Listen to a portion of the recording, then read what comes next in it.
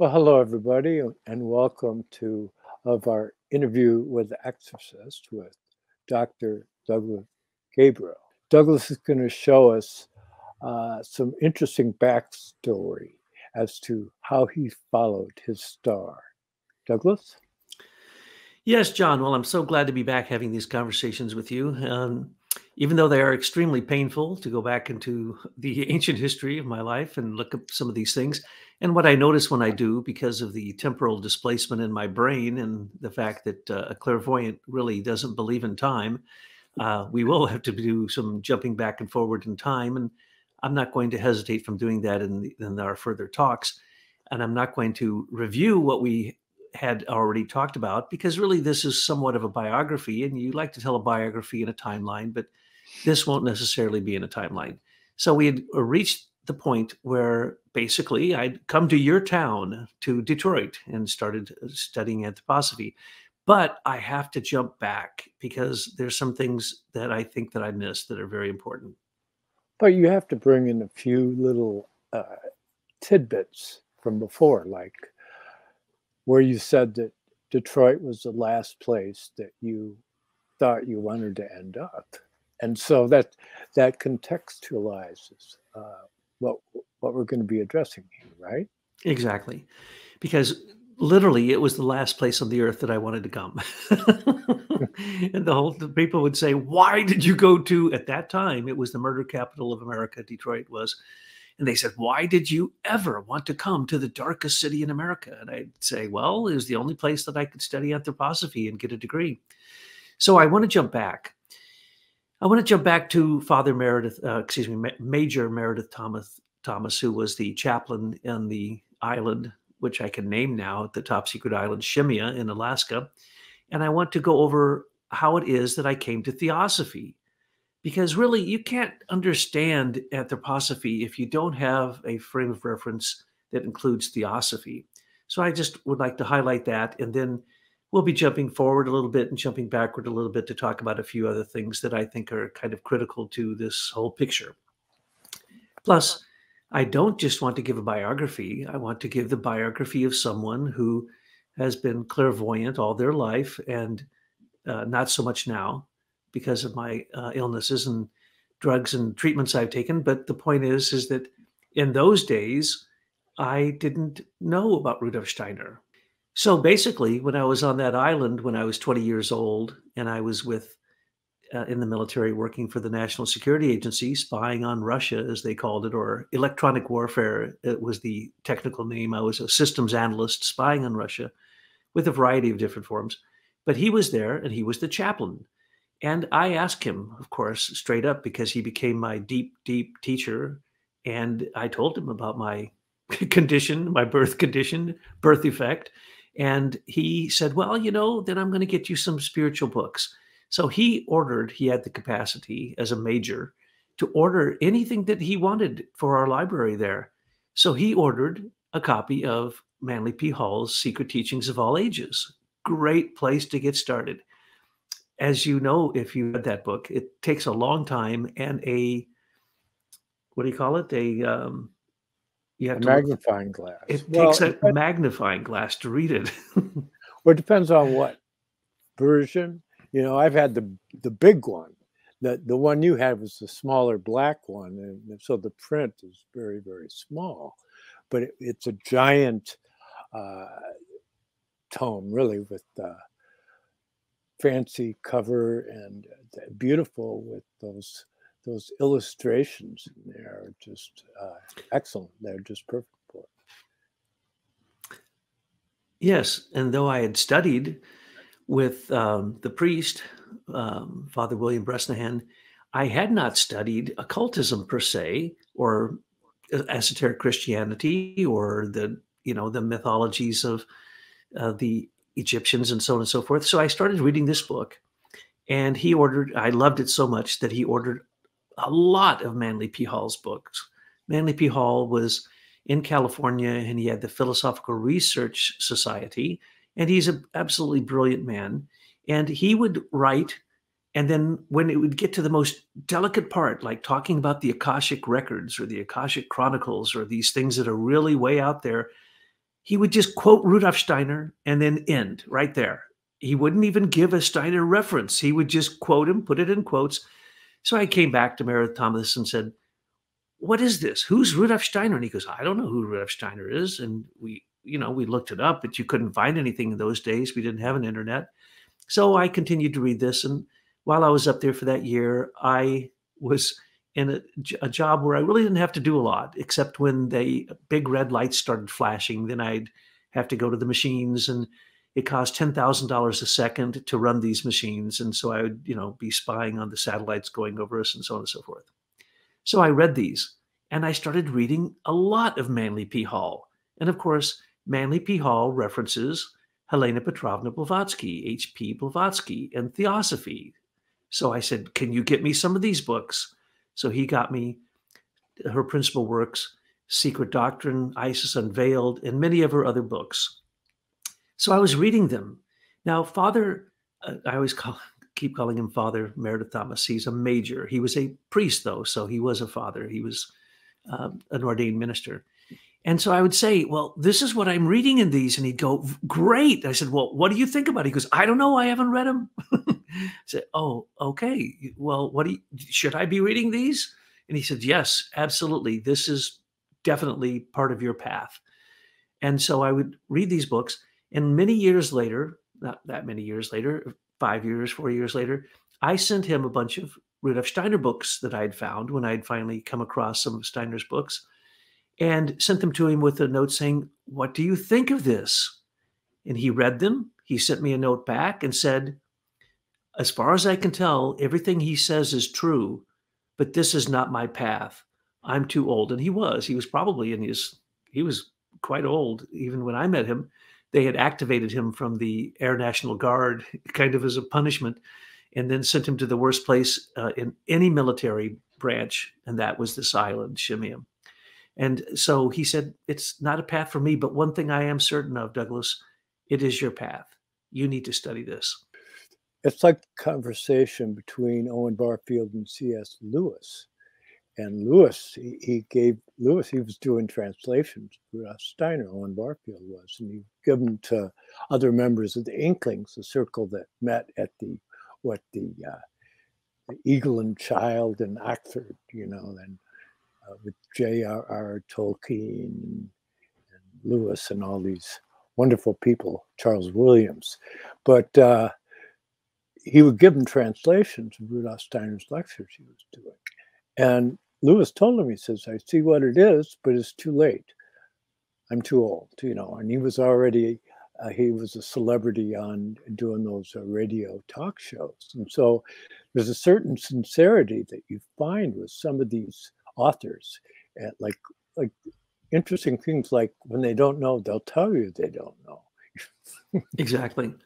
And so uh, I realized this was my path. So I'm reading The Secret Doctrine. And if you've ever read The Secret Doctrine, it's a very, very difficult thing to read. In my life, I've read it three times. And I don't know many other people who've spent that much time reading it because it's so complicated. And I read Isis Unveiled three times. I read it three times because I didn't understand it the first couple times. And, and then in the third, I thought I understood it a little bit because by then I'd come across Rudolf Steiner who explained many of these things. But the point is that we were up on that island for one year and we didn't uh, get to have any breaks. We didn't go on any kind of leave. And he, Meredith Thomas, left. And uh, I think it was a week or two later, one of my youngest brothers passed away in a motorcycle wreck. And so they sent me home. And about a week later, the only airstrip on that tiny little island split down the middle. And no one was able to come and land on the island uh, for months. They had to send out these basically like attack helicopters to deliver supplies and things. And there was only one pilot who would land on the island anyway because the crosswinds were so terrible. So I went home and my brother had passed away, but I knew he had passed away because I could see it through my mother's eyes and I could see her heartbreak. So when I got home, I'm thinking, okay, where's my brother? I can see people after they die. So how come I don't see him? Well, he was in a motorcycle wreck. And sometimes when you're in a motorcycle wreck, you don't know uh, that you're dead. You don't wake up for a while. So, oh, after maybe a few weeks, he woke up and he was in my dreams every single night for seven years. And that's because that's one third of your lifetime. You relive it. And so I would experience him every single night in my dreams. But in every case, he was someone else. And only at the end of the dream would he take off a mask and reveal who he was. And then I'd say, "Oh, this was a episode of what we did when we when he was alive." And he was going backwards in time, reliving these things, and I was accompanying him. And that really did teach me how to be able to accompany anyone um, that I was associated with after death because they are going to be reliving some of those things. Well, I was given two week, uh, two month leave, and so I said, well, I have to go to Wheaton, Illinois, the headquarters of the Theosophical Society, because I need to get more theosophical books. So, so I went there, and it's a beautiful place, big old mansion. It was the um, American headquarters for the Theosophical Society. But just as interesting was a bookstore that was right next door to it. I don't really know whether the Theosophists created the Quest bookstore, but they had all these books in it. And oh my gosh, I thought I had reached heaven. Every type of bizarre spiritual insight or the missing life, the missing years of Jesus Christ's life, or you name it. Now, I didn't like most of the Theosophists. And, and in this Theosophical headquarters, they had every Theosophical book there was. And the librarians there were Frank and Annie Hall, who you knew quite well, right? I didn't know at that time that they were going to become Waldorf teachers and become two of my best friends. But they were very nice to me because I'm there and I'm saying, you know, I really like to gather these books up, but I can't you know, uh, I, I want to read all these books here that I have over in this pile. And, and they're saying, well, you know, you can't take them with you. And this isn't a lending library, but we will show you one little trick. And they took me in this room where they had doubles of these books, which they were literally getting rid of. And they said, look, you can buy these books for like 10 cents, 50 cents, whatever. So I collected up a bunch of them and took them back to my home and I was in the Quest bookstore and I bought a bunch of books there. And then from that time on, I kept buying books from the Quest bookstore at a very rapid pace. But while I was there, I met a very strange character. One of the strangest people, I won't go into describing this person, but he had a collection that he had found in a uh, attic of some old theosophist. And literally, there were like 500 books. And he says, I don't even like this stuff. He was there working on the building or something. He said, I don't even like this stuff. You can have all these books. So he gave me, I swear it had to be at least 500 uh, theosophical books. And so I had this massive library of uh, theosophical books, and I just started reading them like crazy. And wherever I was assigned, I went back to Fort Devens. Every spare moment that I had, I was reading theosophical books.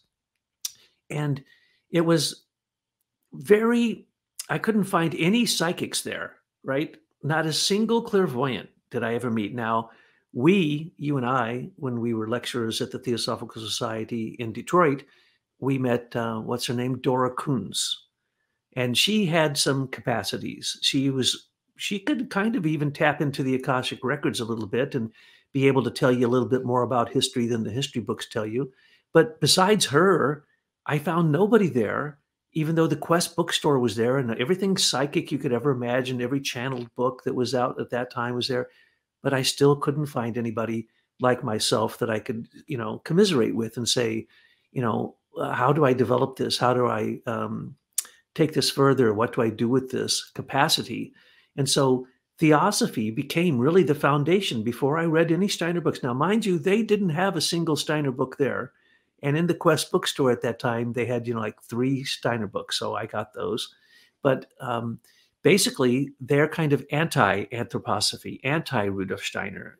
They're, but Rudolf Steiner was a theosophist, and he started his German section of, well, he was the head of the German section, I believe, and then later broke away to create anthroposophy. So these people didn't help me at all in terms of that. And if you've read Blavatsky, you will basically run up against more um, comparative religion ideas than any place else that you can possibly look, but it's not going to help a person like myself try to develop my capacities. Yeah, well, that's uh, an interesting.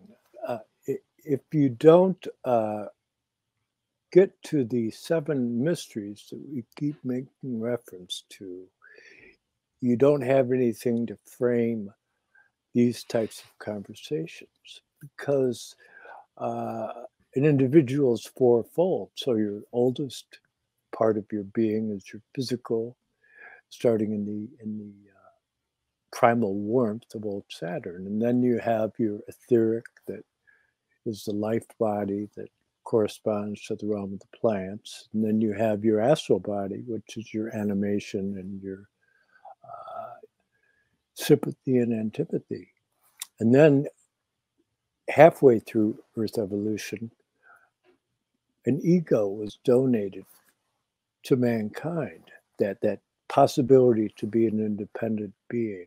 And so that's the central quest we're discussing here, just so people are wondering what is all this? That's what it is. Yes, exactly as you pointed out. That's helpful that shows you how in your own self you find these cosmological ideas because in blavatsky there's cosmogenesis and anthropogenesis. It's strong on cosmogenesis it's strong on comparative religions of the east but when it comes down to what does the human experience directly in their soul or how do you contact your spirit? Mm, not much. And then her followers W.C. Leadbeater and Annie Besant, who took over the Theosophical Society when Blavatsky died, I hated their books. I thought they were garbage. And I couldn't understand how in the world did, did they go from a Blavatsky to an Annie Besant. It was like, uh, so I, I, started to get pretty, mm, what do you call it, um, dissatisfied with studying theosophy. But I did continue. And later I went out to Ojai, California, where they had the Krotona Institute, which is like a retreat center and I hung out there and you know talked to people. Again no clairvoyance nobody who could say that they were on a path or could show a path to basically get to where I already was when I was born. And so I was trying to work backwards from being a clairvoyant to looking at these books and saying well okay I can arrive at some of this stuff but how? What does it mean? How could I ever explain this to anybody? So really theosophy was a big disappointment until Robert Thibodeau and his family, I, I, convinced them to go up into the sequoia forest with me because, as I've mentioned before, I love to go to the sequoia forest. So we went up to their place called, um, oh, High Meadows or something like that. Anyway, it's up in the sequoia forest near Redwood Mountain Home. And it's a, uh, it's like a summer camp. So we're standing there eh, because Robert Thibodeau and his wife were both theosophists. And in theosophy, you have the esoteric section, which I became a member of later, and co-masonry, which is a type of masonry that allows women in. And so Colleen was very much a part of all of that. And then their two boys were with us. And so we go to this camp and we're standing there at a place because they were having some food and we were going to buy some food. And I'm saying, you know, is there anybody around here who's clairvoyant? I mean, you know, this is the most magnificent place for clairvoyance in the whole world in the Sequoia Forest isn't there somebody here who actually has the insight that like Blavatsky would have that might be able to contact the Akashic records and speak to the masters as Blavatsky said she did? And the person laughed and said, "Oh, well, there's there's this one person and that and his name she said Peter and I'm like, "Oh, Peter, and what's he do?"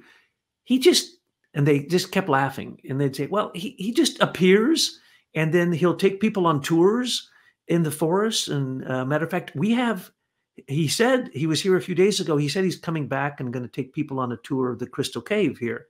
And I said, Really? This is fantastic. How do I get in contact? They just kept laughing. No one knows how to contact him. Wait, you doesn't have a phone? You don't know where he lives? No, no, no. He just shows up and and they and they're laughing. And I couldn't understand why they were laughing. And then all of a sudden I'm looking at them and I read their thoughts, and their thoughts are, turn around, bozo.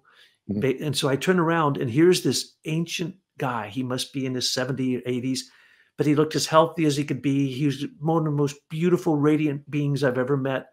And blue eyes, when I looked in his eyes, I thought I was looking into the blue of the sky. It, it was, it, it humbled me 100%. I was ready to almost drop down onto my knee and say something to him. And they said, You see? And uh, now we were at the tent. There was no nothing behind us. And he just appeared. And I could see that he appeared at a certain moment because they started really laughing at me. He's standing behind you.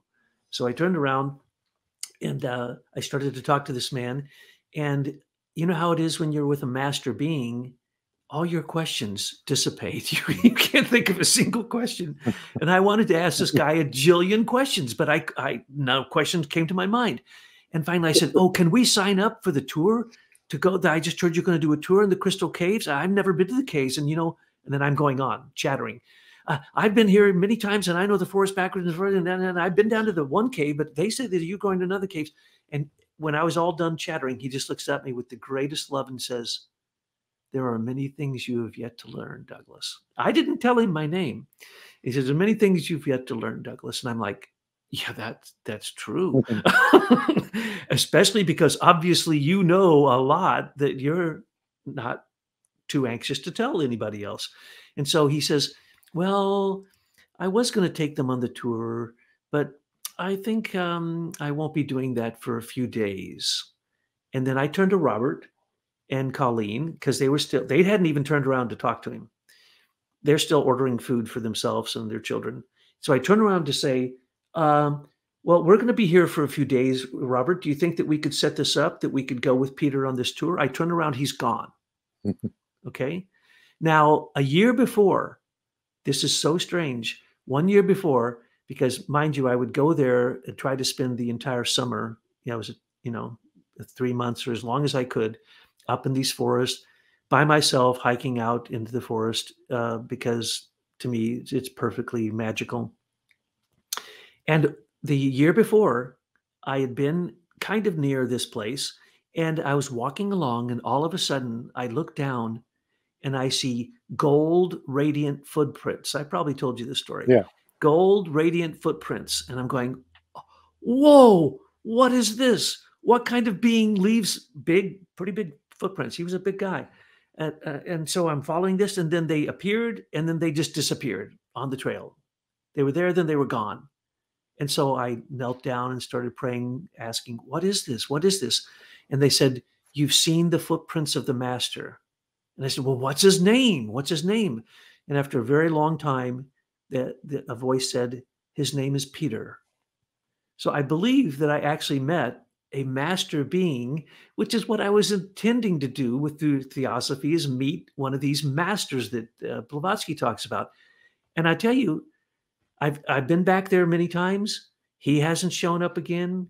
He just disappeared. I don't know how it is that he had been around for years and years, and then all of a sudden was going to take people on a tour, and then didn't show up again, and didn't go back again. So I don't know what that's about, but that was you know somehow connected to theosophy.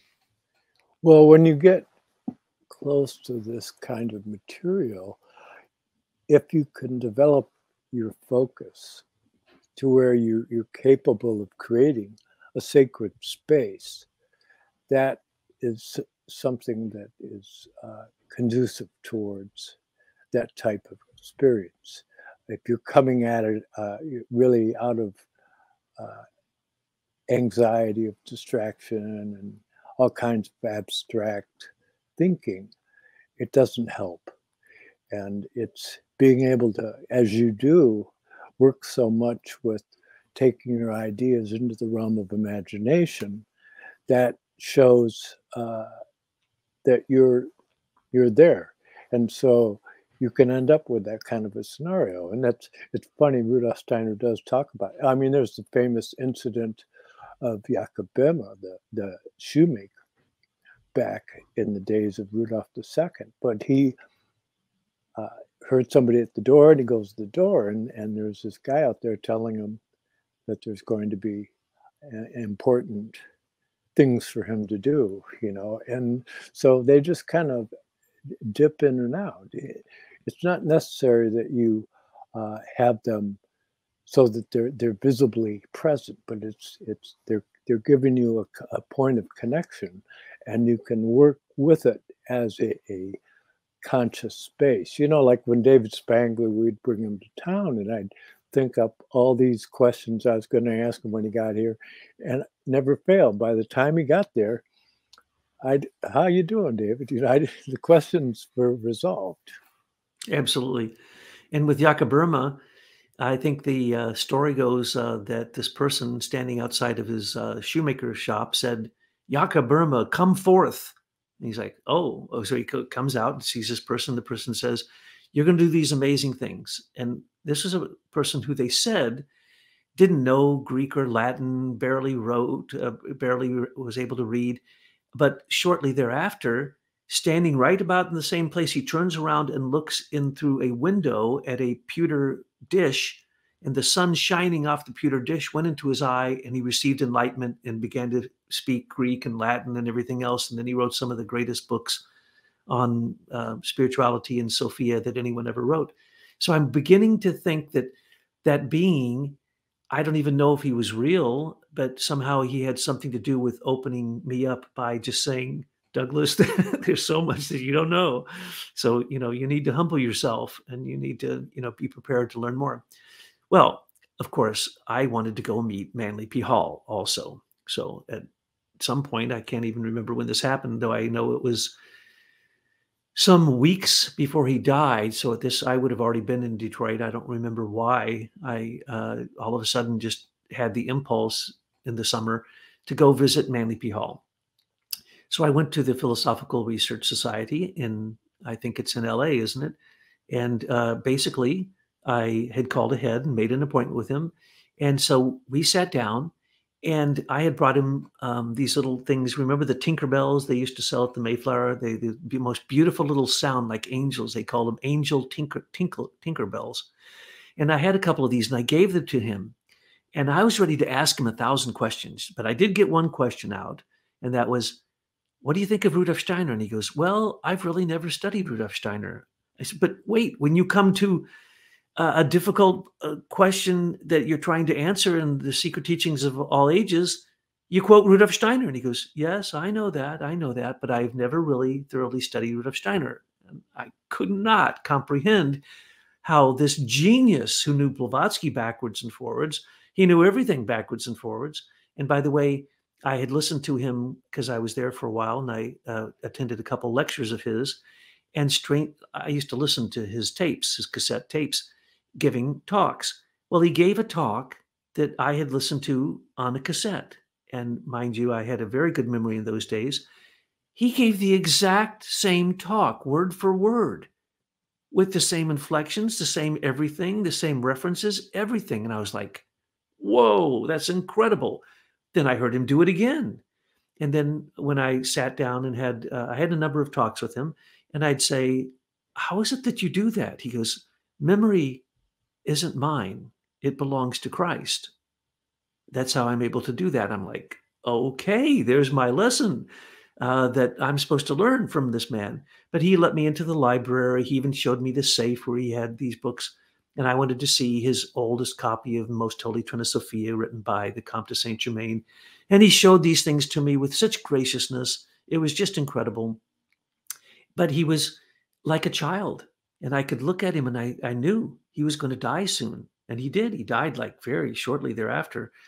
Uh, and he didn't really have any wisdom that he needed to convey to me. Why? Probably because he had already written it all down. He'd given, you know, hundreds of lectures, which I'd listened to many of these tapes, read most of his books, though you can't say you've read all of his books because there's so many of them. But basically, what I got from that was uh, also a very peculiar circumstance. I said, okay, um, Mr. Hall, why is it that you're wearing a suit that's like five times too big for you? You know, and he goes, well, I had elephantitis. My entire body swelled up with elephantitis except for my head. And so I'm sorry, I apologize that I still wear these suits. These suits hung on him. You could have put three of him in one of those suits, right?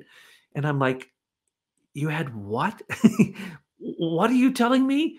Your body swelled. Does that ever happen to anybody? I mean, he said, well, it happens to people's legs or an arm or something, but for some reason, my entire body swole. The, the doctors couldn't explain it. They just called it elephantitis. And now I've shrank back down. And he just laughed. He was like talking to a, the most beautiful child. And I swear, he had one foot already into the spiritual world. And uh, it was kind of hard to quite communicate to him, but he still could give a lecture word for word perfectly as he had done 20, 30 years before that. He was the greatest philosopher. But I asked him, Are you clairvoyant? Do you have any uh, contact? Can you contact the Akashic records? Is that where you get some of your information? He goes, Oh, no, no, no, no, no.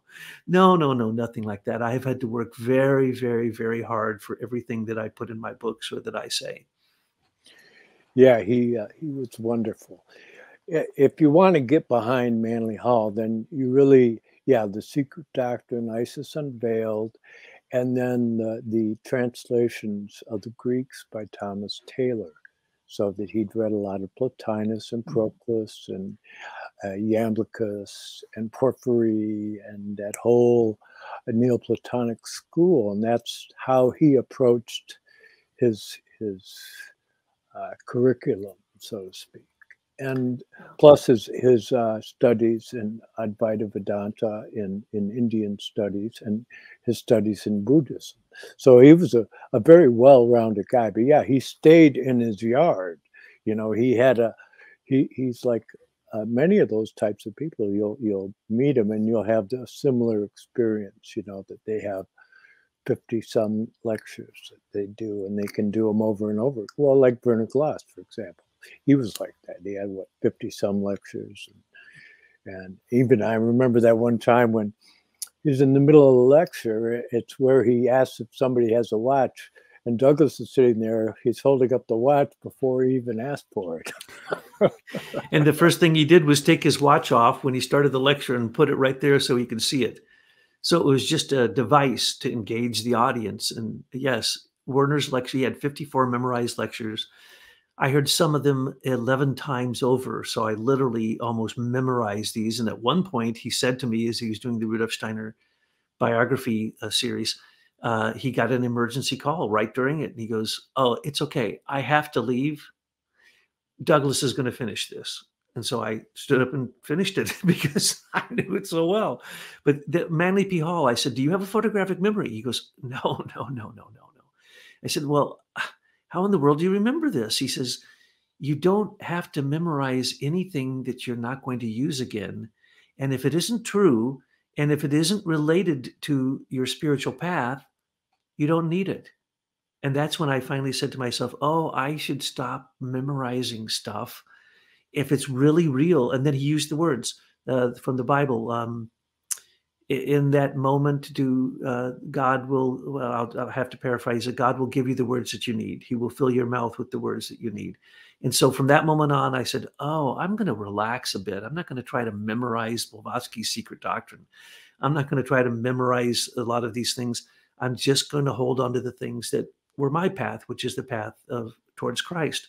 So he gave me that it was like a transmission. And even though they may not have been clairvoyant some of my greatest teachers gave me a transmission, and the transmission was to basically not really instruct me, but basically say, you don't need that, you don't need that, just stay on this path here and you're fine. Yeah, it's uh, developing uh, uh, kind of a symbiotic relationship with with your books. You know, uh, from very early age, I was told to uh, imagine a library in my mind and and if I wanted to look up something, walk over and find the book, you know. And so it's it's there's different mnemonic devices that you can use to be able to access the information you need. But I finally, like you, summed it down to uh, truth serves its own ends. All else serves as compost nurturing growth is that yeah all this other stuff will fall away when, once you get a clear path that you're on you're, you're working toward the light it's all there and uh, he did say one thing to me uh, i said you know i want to be like you i'm saying to manly p hall I want to be able to do these things that you do. I want to really be a, a, philo- a spiritual philosopher. And he said, Oh, well, here's the trick. The trick is go up to this part of your head, go right out in front, see yourself, you see your hand writing on a pad, and write down what it is that you wish to uh, memorize or keep keep in your mind forever. So he says, you know, make a mental note, but literally do it objectively so that you see your hand writing it. I'm going, oh, and so I've been doing that ever since then, and it does absolutely work. So, you know, and he also died of mysterious conditions, and the stories were crazy, but he had. Well, now they estimate it, you know, about $2 million worth of the rarest books that you can get in Western esoteric tradition. And he was married a second time, and his wife uh, basically wrote a whole description of how he died. And there were three people came into their life when he was older and he'd been sick, and they took over his business and taking care of his finances. And basically, she says that those three men murdered him and then stole the books. Well, as you know, the Mayflower was called by some people when after Manly P. Hall died. That's how we knew that he had died and uh, they'd called Robert and the Mayflower and said, "Do you want to buy some of these books? And we can give, make you a great deal on selling you these books." Later, it was found out that that the those that one of the people who called was one of those three people who his wife believed murdered him. And then there was the whole story of red fire ants had eaten parts of his body by the time that they had the autopsy done. And so she believes that he was uh, murdered left in the car or on the ground. And the fire ants aren't even supposed to be anywhere near there, so they don't know whether they brought in the fire ants to uh, to basically hide the evidence. But they'd done a bunch of things that uh, looked for sure as if he had been murdered. So I believe what she says. I believe he was murdered, and those books. She ended up selling some of them for a really great deal of money. Two two sets of those books and the others went to these three men who then ran the Philosophical Research Society into the ground, and it basically was extinguished at that point. Yeah, sad uh, of events. Yeah, Maria Bauer Hall is his uh, his his uh, wife at the, at that time. She uh, she's noted for writing on uh, code, Elizabethan uh, number letter codes in in like mostly British documents and all that, and going back to the steganographic works of uh, uh, Johannes uh, Trithemius, who was the teacher of Paracelsus and uh, Cornelius Agrippa. So there's this whole uh, underlying tradition that's coming at Manly Hall from all these different esoteric streams. And I, I have a letter upstairs that he wrote to me really nice letter because I sent him a copy of the Nuggets from King Solomon's Mine when we published. And uh, you look like Errol Flynn on this huge body, you know, the, the, for most of the time. But like you said, he that eventually the weight went away. Uh, but he had been dealing with elephantiasis. Uh, it's it's a strange story, but he was a really active in, in Freemasonic circles on the West Coast. And also, he was uh, involved with Max Heindel over at the Rosicrucian Fellowship. And So he was very much into them. So he had familiarity with their material. Now, I, I remember years ago going with Brian Lynch and meeting the head of the esoteric section of the Rosicrucian Fellowship. And he says, Well, yeah, when they get the higher levels, then we study Steiner, you know. So. That's right as Rudolf Steiner said about Max Heindel, who lived in California, anything can grow in California. And I got initiated. It's closer. The quote, quote is, uh, "Oh, he went to California, where, as you know, anything will grow." Yeah, exactly. and I joined AMORC, and I joined Max Heindel's group, and I joined the Theosophic Oceanside group because I found out that Theosophy was broken into two or three different groups. And then, of course, Steiner broke away from Theosophy because W.C. Leadbeater and Annie Besant claimed that this boy they met on the beach in um, Adyar in India, uh, Jiddu Krishnamurti, was the new Christ incarnated. Now, you can imagine I of course had to go meet him. Right. Uh, CW. See, yeah, not WC. That's why you're here. To you're sure. thinking of WC Fields. That's why you're here, John, to make sure to correct my things that are misplaced in my brain. Because I, I don't didn't like Leadbeater, and I didn't like his church. He created a church where he did a, a different form of the seven sacraments, as Rudolf Steiner had renewed the seven sacraments for his Christian community. Uh, well, Steiner wasn't a part of the Christian community, but he uh, gave a renewal of the seven sacraments to a group called the Christian Community. So the Leadbeater version of the Holy Eucharist and the sacraments, I joined all that. I actually was part of. Uh, Nedra Brooks was our theosophical leader in Detroit, and her husband, what was his name? Doc. Uh, Dr. Richard Rich, Brooks. Richard Brooks. Yeah. So I'd go to their house and I'd go to the, you know, the Sunday services. And personally, I didn't like it at all. So I no, stopped didn't, going. Didn't resonate with me either. I, I knew Richard though. He'd come and I do, I do a lecture TS and then he'd stop by the store after and just start conferring with me about things that I've said. But, and here's this guy and he can read Sanskrit and uh, also Chinese. He was a professor uh, of Chinese at, at Oakland University. a fascinating guy, you know. It's, he was very much into Advaita Vedanta, but I didn't resonate with the uh, Annie Besant school. And Nedra Brooks studied the secret doctrine with her, and she actually had met Annie Besant, you know, so she was like ancient. Remember? Oh, she was she was like a um, field marshal. She hated anthroposophy, and she would tell uh, Robert and myself and anybody who would listen crazy stories about Rudolf Steiner, the way he'd planted black crystals throughout all of Europe so that World War One could create, and the way that he had manipulated I, von, von Moltke into the war and all that. Mm. And that it took me years to, to research that and figure out that all those were the theosophical lies to keep people from Steiner. But as you know, we tried to merge anthroposophy and theosophy in the Detroit Theosophical Lodge. And, you know, it didn't really ever work out so well. But anyway, I wanted to always meet Krishnamurti, right? So I had studied Krishnamurti's books, found them to be kind of flat, not really much there. Certainly didn't believe he was the uh, new Christ. Christ only incarnated once. He was not Christ. He later um, uh, basically said he, he, he left the Theosophical Society and uh, said none of that was true. Everything that they said about me, it's not true. I'm just a normal, humble, not well, he didn't say humble, but a normal person, simple person.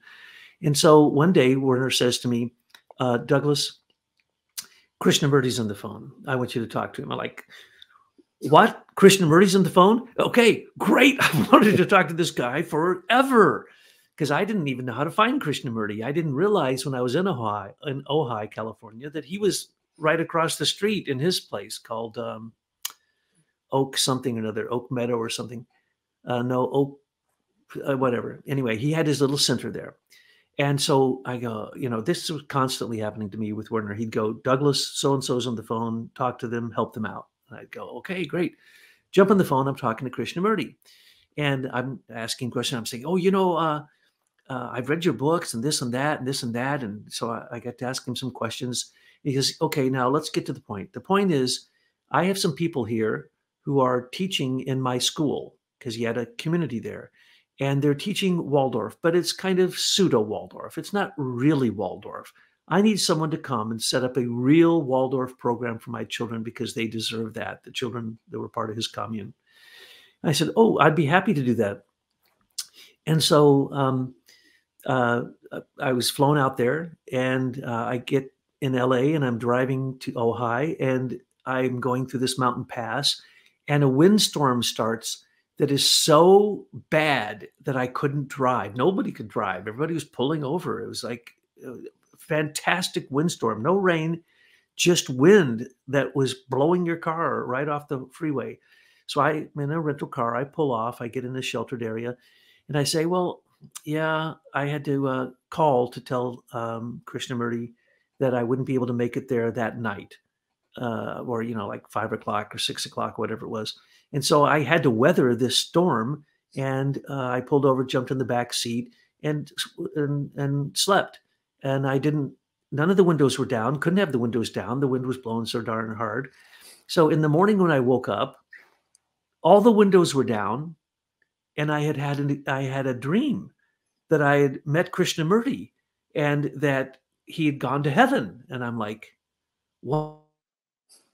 into heaven, this guy must really, really be spiritual, right? This is amazing, you know. Uh, so I get up in the morning, I drive there to Ojai, and I go there, and everybody, every person I see there has got a sad look on their face, and I go into the office and say I'm here for an appointment with uh, Krishnamurti. My name is Douglas Gabriel, and they said, "Well, we're so very sorry. He died last night." And so I guess he, he, I believe somebody rolled my windows down and it wasn't me. So I don't know how that happened. And the wind was uh, uh, not blowing in the morning. And I felt as if I had, had taken a trip to heaven. So what happened was the people who were the two teachers, this man and woman, uh, they were married, who had been the teachers, they were quitting. And so they were going to go start their own thing using just the materials they had. And so they did. And it's called Oak Meadow it's one of the best and uh, homeschooling programs you can get, and it's very close to Waldorf, though it's not Waldorf. And so they moved out. And so my job was supposed to be to assess the situation, tell Werner, you know, send teachers because we're, you know, Werner was, you know, creating teachers and the teacher training program um, to the tune of about 35 a year and they were in big demand, but Werner was had committed to Krishnamurti that you know we would help. And so I went out there, I assessed the situation, came back, told Werner, and eventually we sent some uh, people there, and they started a true Waldorf school there um, in his place, which I can't remember the name of. But anyway, it was a very strange thing. I'd read these books on education before I went to meet him, and I was all geared up. And you know, it was like finally I get to meet this guy and then what happens? He dies right before I get there. Yeah, I only have one story from uh, the night that he died, and that was that's that they he had a copy of the of Rudolf Steiner's The Philosophy of Freedom on his nightstand the night that he died. He had left a book for me, which is so strange. Why would he leave a book unless he knew he was going to die? and you can't get this book. It's called The Search. It's a poem, and it's a beautiful poem. I would say that I've oftentimes described it as the 10,000 things, because in Taoism, it's you search and search until you find the 10,000 things, and then you realize that there's only one thing. Well, in this book, it goes through I have done this, I have done that, I have done this. It's a poem, it's a long poem. And so he left this book, very rare book, I was searching uh, the other day, preparing for this, can't find a copy anywhere. And so he left this for me as a gift. And I had had to believe that he knew he was going to die. But when I talked to him the day before, he was sprightly. He was uh, gingerly. He was he was just delightful. He was not like a child again, but just full of hope and full of buoyancy and ebullient and all this kind of thing. And so I was totally bummed out that I didn't get to meet him. But these things happened because I ran the bookstore. And if you remember in the previous talks, the first time I came through Detroit and I met Werner, he said, Well, how much time you got? I said, Well, I'm gonna I, I got a month before I gotta do something. He goes, Set me up a bookstore. I said, Oh, okay. So I set him up a bookstore. And when I returned, I worked in the bookstore. But I also donated because once I realized I was going to go to the Waldorf Institute in Detroit, I went back home, gathered up all these theosophical books, brought them there, and donated them to the library. So, literally, hundreds and hundreds of books. I can't even tell you how many. But then one of the two directors threw out a bunch of the theosophical books because he didn't want them in his library. But then Werner said, No, no, no, no, you have to. I'm not going to mention the guy's name. You know who I'm talking about. he says, No, no, no, you have to leave the secret doctrine and Isis Unveiled and Blavatsky's work. You can throw out Besant, you can throw out Leadbeater, you can throw out Purucker, you can throw out all those, but do not throw out Blavatsky's books. And boy, he was mad. He, he thought it mm. was like putting Satan into a, a, a, Holy Eucharist or something. And so he, I don't think he ever forgave me for that. Hmm. But anyway, I'm in the bookstore, and this is also the same bookstore, this little bookstore, because Werner didn't know the English titles. and he didn't know the publishers, and he didn't because I was desperate to get everything in English, and I'd been in, I knew what wasn't in English, and I, I knew the difference between this and that, and so I ran the bookstore. But every once in a while, he'd just say, "Douglas, talk to this person and help them." I go, "Okay." And one time it was Kathleen Kennedy, another time it was Mhm. Marcia Lucas, another time it was Krishnamurti, and then the next time, another time it was uh, Chogyam Trungpa Rinpoche, who was considered to be one of the greatest Tibetan uh, teachers who had come to America. He was in Colorado and he'd called up Werner and said, I want to start a Waldorf school. I have a school here called the Seed School, uh, but we want to have Waldorf. So again, he sent me out. I got to meet Trungpa, uh, Trungpa, as they called him, Trungpa Rinpoche. Uh, but this guy was not unlike others like Rajneesh and a number of others that I'd met who drank vodka straight up, acting like it's water. And then as soon as he's done with his talk, he goes and eats pizza. And I'm like, "Mm, this isn't, you know, but he was clairvoyant, you see. Mm. Many of these Tibetans were clairvoyant. So the, you know, the second that I met this guy, we're like, boom, we're totally humming on the same thing. We could actually read each other's minds. And so I helped um, assess his school, uh, got him started a little bit, and then uh, chose uh, three people uh, to come to Detroit to do the training uh, for the next that next fall.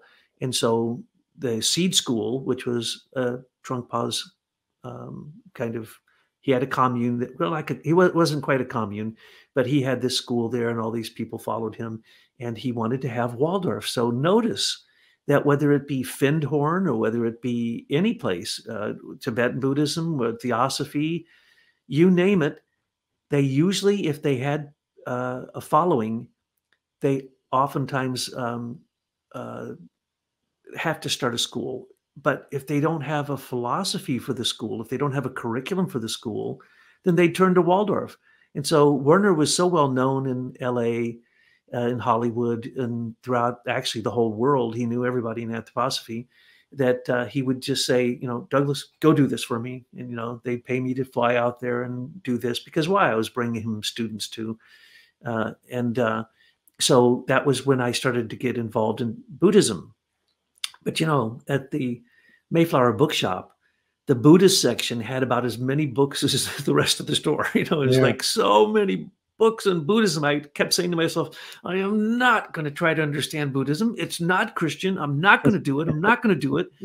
And then what happens? One of the great teachers, the teacher of the Dalai Lama, Gelek Rinpoche, moved to Ann Arbor. And I was swept up into that for a long time. He was my root guru. And then I had to start studying uh, all this uh, Tibetan Buddhism, which is incredibly deep mental training. And but I'd say to all of them, because the top Rinpoches and Lamas and Geshes, they would all uh, they were all clairvoyant. And they would, you know, you've heard this story, I've mentioned it before, they'd all call me the same name. And they, oh, so nice to see you again, Wang Pao. And I never understood what the heck they were saying. Took me, I don't know, 20 years before I actually said, what the hell are you saying to me? And what are you what are you saying? Who who is this person? He goes, Oh, great tantric teacher of this. blah, blah, blah, blah, blah, blah." You know, I go, "Oh, okay, great. But I'd ask him all the same question. I'm clairvoyant. You're clairvoyant. I can see Christ in the etheric. Can you see Christ in the etheric? Because if you can't, I don't think you're clairvoyant. And they'd say, No, no, no, no, Christ, no, no, no, no, no, no, no, no, no. Avalokiteshvara. And then they would give me this whole story of a human who sprouted 12 heads or 13 heads looking in all direction with a thousand arms to, you know, give, uh, to see the suffering of all humanity and then give the cure for it, give the spiritual tool that could help people get cured from whatever was their ailment, ailment, spiritual or otherwise. And so they all would point at uh, uh, Vishnu Karma. Uh, uh, what, uh, what is it? Um, Yeah, Vishvakarma is, Vishvakarma. is the the uh, Vishnu manifestation that that is uh, pertaining to Avalokiteshvara and uh, Chenrezig in the Tibetan tradition. So that you have that uh, Buddha of compassion is what they would call it. But it's uh, you have to keep in mind that Rudolf Steiner was adamant that one has to understand that that Buddha, he, uh, the Buddha experience happened sixth century before Christ, but he said Buddha didn't stop. He kept developing, and he is a, a big part of the mysteries of, of esoteric Christianity. Absolutely. And you know, these people to even become a high lama, you have to have clairvoyance and you have to have this memory capacity. And so that what Rudolf Steiner would call the etheric heart, this thing that comes back eh, in, in, the back of your head, I'd see this and I could look into it and I could, you know, literally hear them speaking and and his and there's they're chanting these things that they've memorized fantastic amounts of things, all all by memory. I would look at this and go, wow, I want to do that. I want that. I want to develop that. I want to have that capacity. But you know, that's something that takes um, really a lifetime of training. So I never learned that, uh, but I could see it, and then they would basically then go, "Oh, okay, if that's if that's what you're saying, oh, if that's what Christ is, oh yeah, yeah, yeah, we believe in Christ," because they're you know they were so compassionate. I mean, I've never met a Tibetan Buddhist that wasn't filled with compassion, and of course, you know, we we know the Dalai Lama who is a very close friend of Gelek Rinpoche's. Gelek Rinpoche is literally the voice incarnation of the Panchen Lama, who is the senior teacher of the Dalai Lama in by tradition. And so Gelek Rinpoche also had that.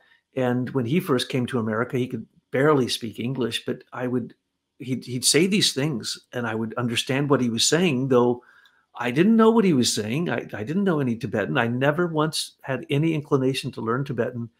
Uh, but through these people, I actually started to meet some of the best clairvoyants I ever met in my life.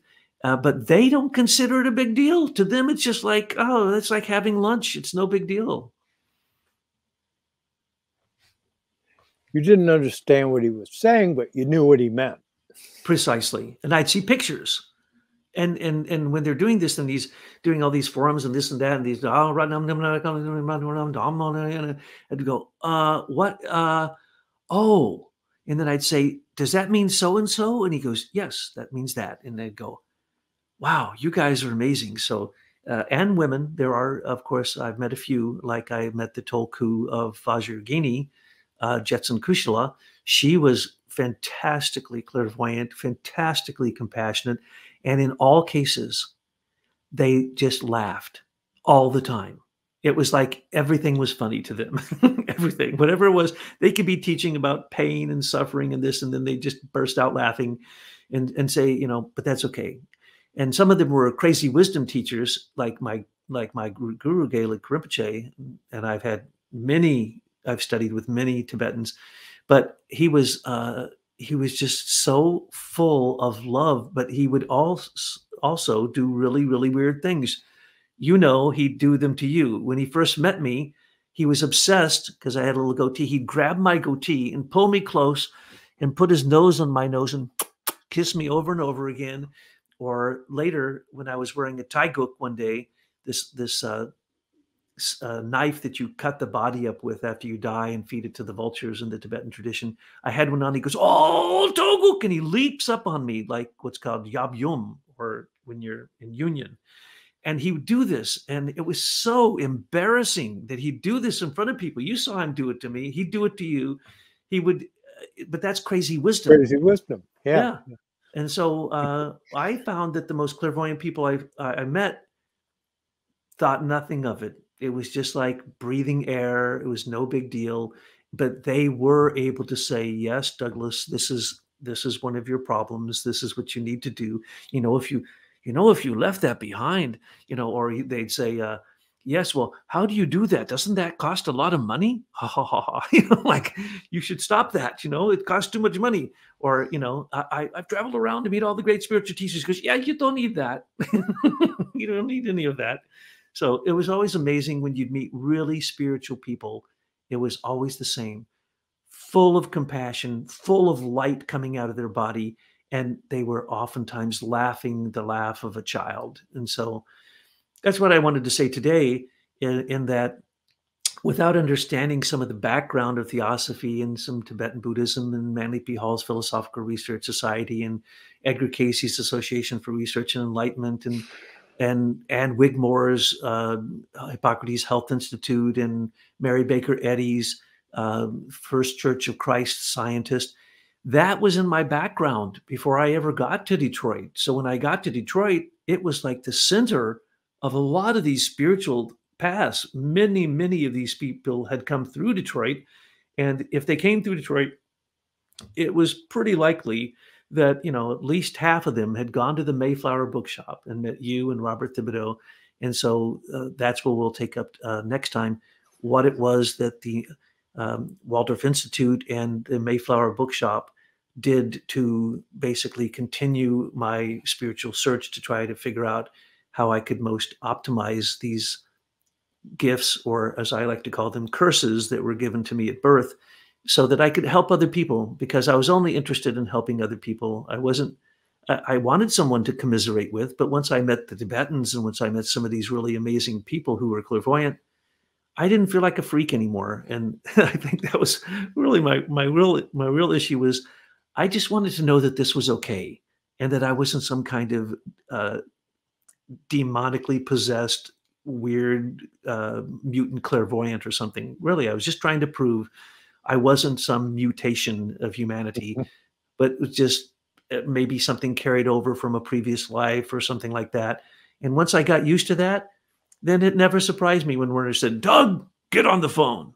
well, that's wonderful. And uh, we're at our, our time limit here for this particular episode, episode 17, and uh, finding that star. And here with the the really I call him eminent. He, he's he's one of my greatest teachers and one of my greatest pupils. And so that's a, a very important role in my life. And I I trust that many people are going to find a great deal of value in listening to these talks. So I want to thank you, and you can look below, and there'll be links that can lead you to the books by Douglas and Tyla, and uh, they're operation, the Gospel of Sophia, and American Intelligence Media, and all the wonderful work they've been doing with Michael McKibben.